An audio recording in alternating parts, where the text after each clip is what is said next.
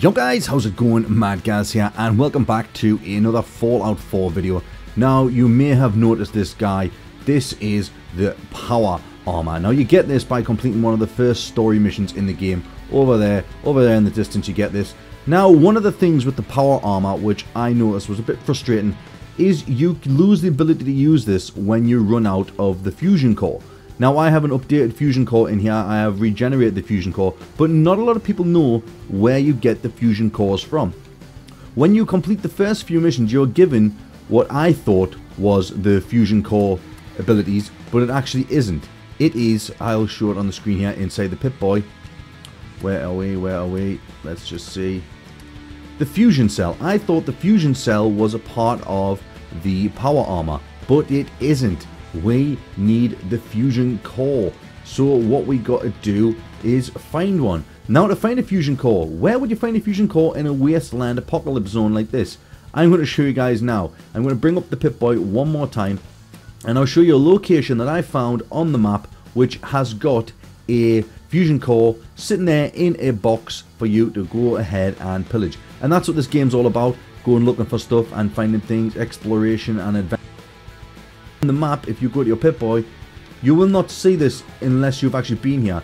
Over here next to this lake, there is a three car pile up little image, and that is the robotics disposal ground. So if you make your way across to the robotics ground, I'm going to fast travel there, but if you head there on the map, when you get there, I will show you exactly what we will find. Right now, so once you get to the robotics like scrapyard area, you will see the gates are wide open, you can freely come in, and there's no bad guys around here. Uh, there was a few over that way when I first spawned into the map, so you can kill them just... Oh, there's a robot coming. So all you want to do is just turn off the robot. Or not. Ah. Oh god. Fucking mole rats everywhere. But yes, what you want to do is head down here. That big robot spawns in this area here. He's set himself about because I've activated him. Fucking mole rats. Leave me alone. Oh God. But yes, what you want to look for, guys, you want to look for these army... These army trunks. As you can see, it is empty, but it is a military army trunk with the star on it. It's green with a white star, and inside of here, you will find the fusion core, which powers your power armor.